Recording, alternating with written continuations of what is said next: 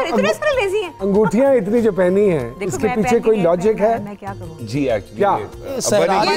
सुबह ये पहन रहा होता है इस वजह से लेट हो जाता है सेट पे आने में। अब्बा अब ने गिफ्ट दिया नहीं तो इसके पीछे कोई मिथ Yeah. है साइंस है? मिथ है साइंस है। आई हैव टू एक्चुअली ये होता है ना कि ये रिस्क के लिए है ये सेहत के लिए है ये ये लेजीनेस के लिए है।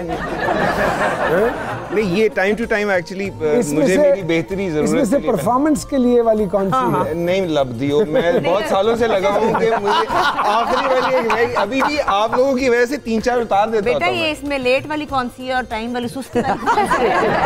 ये ये वो खड़े इसमें से दूर की कौन सी और नज़दीक की? नज़दीक की कौन सी है नहीं, बस गाना याद आ गया अच्छा है मेरी। एक्चुअली आजकल भी नवी भाई एक जिद चल रही है वाले साहब से। मैं ब्लू सफायर स्टोन की जिद कर रहा हूँ और वो कह रहे हैं मुड़ जा मैं कर नहीं ये वो जिद उस वक्त से कि चार पाँच स्ट्रिंग्स आ गई मेरे पास। ये ले लो वो जिद छोड़ दो। है, है।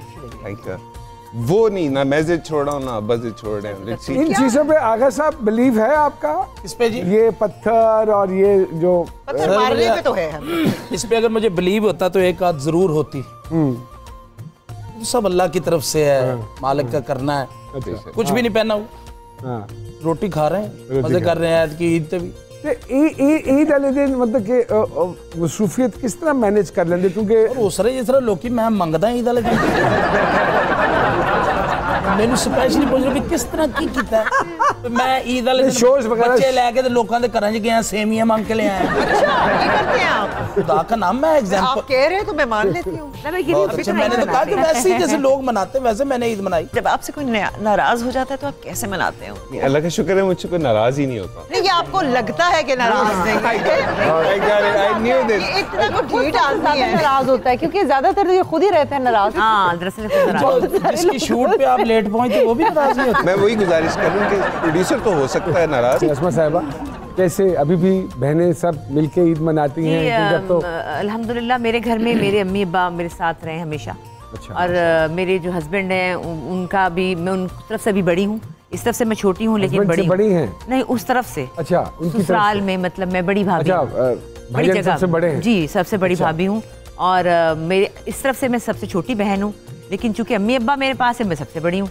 अच्छा तो मेरे घर में ही सब बातें हैं दोनों तरफ़ से। अच्छा माशाल्लाह। और मेरे घर में हमेशा से ईद मेरे घर में ही होती है। पुलाव बनता है पहले अम्मी बनाती थी अब मैं बनाती हूँ आलू गोश्त पुलाव एक टिपिकल वही होता है और दोपहर तक खूब हल्ला गुल्ला और खाना खूना गाना बजाना सब कुछ नाच गाना चार बजे फिर सब चले जाते बाहर से लोगों को बुलाने की ज़रूरत नहीं पड़ती। माशाल्लाह कोई पच्चीस तीस चालीस अपना ही फ़ंक्शन हो जाता अपने दोनों तरफ़ से आ जाते हैं मेरी नंदे भी उनके बच्चे मेरी बहने। ये ये इन बहनों की क्वालिटी खुद कफील है माशाल्लाह। हाँ। कफील है। पर जब मेरे मियाँ जो है वो शुरू हो जाते कहते हैं चलो भी लाइन बनाओ ईदी के लिए लाइन बनाओ।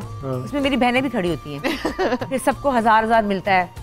जो और छोटों को फिर सौ सौ दो सौ होगी बच्चे ही बच्चे हो जा रहे बच्चे बात करें तो ऐसा कुछ करें पचास हज़ार रुपये लग जाता अच्छा, बट योर तो रेट कम हो गया इतना। बट योर फैमिली बहनें जो हैं आई मीन इतना हँसी मज़ाक and we all know because हम आपको अच्छी तरह जानते हैं आपके हस्बैंड की फैमिली भी उसी तरह ये बिल्कुल opposite है हाय, कुछ ना पूछे वो हमसे भी चार हाथ ज्यादा है नहीं नहीं ये ना मेरी करें नंदे कोई मजे की बातें करती अच्छा। हैं कोई बा- और मेरी सास अल्लाह बख्शे वो बड़ी मजेदार थी वो भी अच्छा। उनका एक वाक्य बड़ा प्यारा था एक दिन मैं गई सोई हुई थी ना मैं क्या अम्मी जी सुते हो की है हाय हट जा ਮੈਨੂੰ ਸੌਣ ਦੇ ਮੈਂ ਕਿ ਅੰਮੀ ਹੋਇਆ ਕੀ ਦੱਸੋ ਨਹੀਂ ਮੈਂ ਦਰਾਜ਼ ਸਾਫ਼ ਕਰਦੀ ਪਈ ਸਾਂ ਵਿੱਚ ਗੋਲੀਆਂ ਸੀ ਤੇ ਮੈਂ ਖਾ ਲਈਆਂ ਮੈਂ ਕਿਹਾ ਕਿਹੜੀਆਂ ਗੋਲੀਆਂ ਤੇ ਜੀ ਪਤਾ ਨਹੀਂ ਕੀ ਕੀ ਸੀ ਮੈਂ ਕਿਹਾ ਫਾਇਦਾ ਹੀ ਕਰਨਗੀਆਂ ਤੇ ਮੈਂ ਨੀਂਦ ਹੀ ਆਈ ਜਾਂਦੀ कोई ने कुछ फ़ायदा तो करन ये तो सुटड़ी कैसी तो फेंके में खाए ना उसमें फिर नरगन थी कहीं।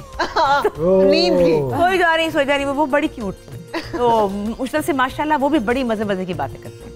तो हम सब जब मिल जाते हैं हाँ। तो बड़ा मज़ा आता है। तो बहनों में आपकी लड़ाई होती है? बुशरा से किसी से कभी हुई? तो- मैं तो खैर सवाल ही नहीं पैदा होता मैं तो यस जी जी बाजी जी बाजी जी बाजी जी जी बाजी जी बाजी। दबी हुई बहन। नहीं दबी भी नहीं हूँ। मुझे बहुत प्यार करती हैं। वो मुझे बिल्कुल बच्चों की तरह ट्रीट करते हैं जैसे बेबीज होती हैं। तो लड़ाई बड़ाई हमारे घर में होती। नहीं मेरा मतलब है कि जैसे बहनों में होता है ना तो फिर मनाता कौन है? या यू नो नहीं हमारे घर में जो सबसे ज़्यादा बॉन्डिंग जो हमारे हाँ। घर में बहनों में है वो बुशराबाजी है।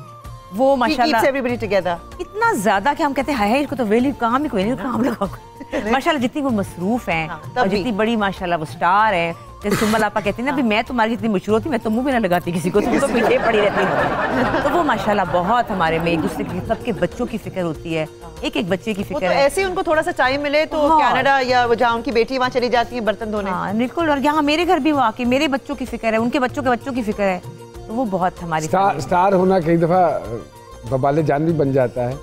तो ये चैलेंजिंग बन जाता है आपको अपने घर को ज़्यादा देखना पड़ता है। जी वो तो आई एम श्योर यस तो स्टार होने के नाते एज अ स्टार ईद मनाना और एज अ बेगम ईद मनाना बिल्कुल ऐसे मेरे जैसे ये उनकी बातें सुन रही हूँ बिल्कुल इसी तरह मेरे भी घर का माहौल ऐसा ही होता है। मुझे भी अपनी बहनों की ज़्यादा फ़िक्र होती है। तो मेरी बहनें भी इसी तरह कह रही थी जिस तरह तू मशहूर है हम- मैं हम मशहूर होते तो हम मुँह भी ना लगाते मुझे मुझे लगता है कि ये देखिए नाज़रीन किस तरह खुल के लोग सामने आ रहे हैं। हमारा मकसद यही है कि असली शक्लें लोगों के सामने आनी और मैं तो बिल्कुल आपने जिस तरह से बताया मेरे भी घर में इसी तरह अगर मैं मोस्टली लाहौर में ईद मनाती हूँ और क्योंकि अम्मी भी इधर होती हैं बहनें वगैरह इधर है एक बहन वहाँ पर है। तो या फिर अगर उधर ईद मनाती हूँ तो उधर अक्सर मेरी सास आ जाती हैं सास ससुर दोनों आ जाते अच्छा हैं माशाल्लाह और बिल्कुल एक घरेलू जैसे होता है हर वो हैपनिंग वही सारी बल्कि चीज़ें हमारे घर में चार बजे के बाद बहुत बोर बोरियत होती है मेरी बेटी तो छम छम रोने लगती है कि अब अब क्या करें जब चले जाते हैं हाँ मतलब अब क्या करें तो हम मैं क्या बेटा अब क्या करना है क्या मतलब है अब हम बस खत्म हो गई ईद ਅਗਰ ਸਾਹਿਬ ਇਹਨਾਂ ਦੋਵੇਂ ਖਵਾਤੀਨ ਦੇ ਵਿਚਾਰ ਮੈਂ ਤਾਂ ਤੁਸੀਂ ਕਹਿੰਦਾ ਅੱਧੇ ਅੱਧੇ ਬੁਲਾਣ ਨਾ ਅੱਧੇ 4 ਵਜੇ ਤੋਂ ਪਹਿਲੇ ਅੱਧੇ 4 ਵਜੇ ये आपने अच्छा किया कि आज बुला लिया आज बड़ी बोरियत अब अगली ईद पे ये प्लान कीजिएगा आप आधे चार बजे सर से ਜਿਹੋ पहले ਜੀ ਇਹ ਈਦ ਹੈ अच्छा वैसे ईद वाले दिन तो दो बजे से बाद ही आना शुरू होते हैं नहीं हमारे घर में तो आ जाते हैं वेल इनको काम ही कोई नहीं शुक्र करके बुलाया है ਕੋਈ आप ਸੁਜੈਸ਼ਨ जाते हैं ਆਗਾ ਸਾਹਿਬ ਜੋ ਤੁਸੀਂ ਦੇਣਾ ਚਾਹੋ ਇਹਨਾਂ ਨੂੰ सर कह रहे नहीं, चार मैं, बजे। अ, आपा ने पहले कहा कि जैसे कि आधे बिरयानी चार से बनती पहले। है वो बनता है फलां लाओ। बनता- भाईजान तुम देखो कि मौसम तो बुला- देखो गर्मियां ਦਾ ले। ਸੋਹਣੇ ਕਰੇਲੇ ਗੋਸ਼ਤ ਬਣਾਓ ਬੰਦਾ ਪੁੱਛੇ ਵੀ ਹੱਦ ਦਾ ਕੁੱਟਿਆ ਕੀਮਾ ਵਿੱਚ ਐਡਾ ਐਡਾ ਲੰਬਾ ਅਦਰਕ ਹਰੀਆਂ ਮਿਰਚਾਂ वो तो पूरा महीना ही खाते रहने हैं ਸਾਰਾ ਮਹੀਨਾ ਕੋਈ ਆਪਣੇ ਬੀਜੇ ਕਰੇਲੇ पहले करेले मंगा के भरे कभी कभी कीमा करेले कभी करेले गोश्त वो कह रहे हैं कि हमें बुलाइए हर जरूर हर- बुलाऊंगी। हर खानदान की ना एक ईद स्पेशल डिश होती है तो है कोई आपकी सर मैं तो जो मिल जाए लेकिन ये है कि खुश खुराक आदमी हूँ। अच्छा। हाँ। क्या क्या प्रेफर करते हैं ईद वाले दिन? खाना सुरीला। इतने भी लोग होते हैं ईद वाले दिन एक उनकी स्पेशल डिमांड होती है। जो भी आपके घर कोई आए या मेरे घर कोई आए या इनके घर तो एक आपस में वो एक देखिए सबकी फरमाइशों के जो है ना वो डिशें होती हैं कि भाई अब ਖਾਏਗੇ ਈਦ ਵਾਲੇ ਦਿਨ ਨਹੀਂ ਖਾਦਾ ਜਾਂਦਾ ਜ਼ਰੂਰਤ ਤੋਂ ਜ਼ਿਆਦਾ ਹੋ ਕਿ ਤੁਸੀਂ ਸ਼ਾਪਰ ਲਵਾਏ ਨੇ ਮੇਦੇ ਦੇ ਨਾਲ उधर मेरे को कारपोरेशन है। अच्छा। अच्छा आप हर बात को क्यों इस तरफ़ ले जाती? अच्छा। भाई है। हाँ। कहा है ना? मैं कहता मैं ईद वाले दिन सब खाता। अच्छा, अच्छा? हाँ। क्यों? क्यों नहीं खाया? तो ना मानने वाली बात है ना ये मिसाल देनी है। अच्छा अच्छा मिसाल दे रहे हैं आई जांदे मैं इंतज़ार कर रहे मेरी बारी अभी आएगी आएगी आ रही की आनी ਆਣੀ? आएगी ਤੁਸੀਂ बड़ी आदत कहना मैं ईद वाले दिन 6 नूडल्स इकट्ठे खाते ਕਹਿੰਦੇ ये भी ਮੁੰਡੇ ਖਾਦੇ 6 नूडल्स इकट्ठे खा ले उससे भी मुझे जो है ना वो स्टमक थोड़ा सा एसिडिटी हो गई एसिडिटी हो गई और घबराहट मुझे होने लगी बर्निंग हो गई तो मैं पाबंदी सलाह दी हाँ 6 प्लेट नूडल्स की नहीं नहीं छह सिंगल लंबे लंबे ਉਹਦੇ ਨਾਲ ਲੇਕਿਨ ਸੋਹਣਾ ਖਾਣਾ ਚਾਹੀਦਾ ਬੰਦੇ ਨੂੰ भाई साहब you agree with Aga ji जी मैं not very fond of eating मैं कहता हूँ कि नहीं रुक भी जाना चाहिए ना खाते फूड इज खाते। Not for pleasure is for living actually आपको खाने के लिए नहीं जीना चाहिए जीने के लिए खाना चाहिए आपको और एकदम से खा जाना और एकदम से इतना साल का ही खाना ये बड़ी एक समझदारी वाली बात है सर मतलब। एकदम क्यों खाना? इतना बड़ा खा के बंदा अगों को चुकन लगा थोड़ा जहा खाओ तो मेहमानों टाइम दो एक दफ़ा खा ले लेकिन थोड़ा थोड़ा खाए। लेकिन सुरीला खाओ। सुरीला खाओ। हाँ। खाना सुरीला होना चाहिए। ये नहीं भी दाल दिन भी माँ की दाल में तड़का लाया हमारे गाने बजाने वालों में जो रिवायत है जो ट्रेडिशनल घराने हैं जैसे क्लासिकल के घराने। खाना बड़ा मशहूर। वो खाना उनका जो अच्छा। खाने पे फोकस किया ज़िंदगी भर उन्होंने। और इसीलिए उनका गाना और खाना यही ज़िंदगी रही उनकी। पुराने जमाने में। तो पुराने ज़माने में किसी की डेथ भी खाने से हो जाती थी। तो पता नहीं लगता था इसको शुगर है पता नहीं लगता था इसको कोई दिल की बीमारी है। कहते जर्दा खादा तो बैठ गया अवेयरनेस ये नहीं पता कि उसकी उसकी उसकी शुगर कितने लेवल आज का जो गाने बजाने वाला है जैसे हम आप एक पढ़े लिखे मीडियम में काम कर रहे हैं तो वो कहते यार मैं तो सुबह सिर्फ़ एक स्लाइस लेता हूँ पुराने जमाने में तो सरदाई पीते थे क्योंकि हमारा क्ला- क्लासिकल गाना मुश्किल चीज़ है उसमें आपको बड़ा ज़ोर से यहाँ तो सीडी पे गा के बंदे खुश होते जब हम गाते हैं जब क्लासिकल उमड़ गन घुमड़ बरस बर घर से आए। न देना मने रे बरा नमो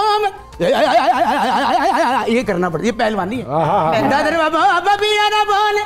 जमाया देखे बेजरिया गेदा सदा रंग रा शुद्ध मलार गाए। उमड़ गन घुमड़ बरस आहा वाह वाह रुत गाए। वाह क्या बात है। वाह वाह वाह वाह। ये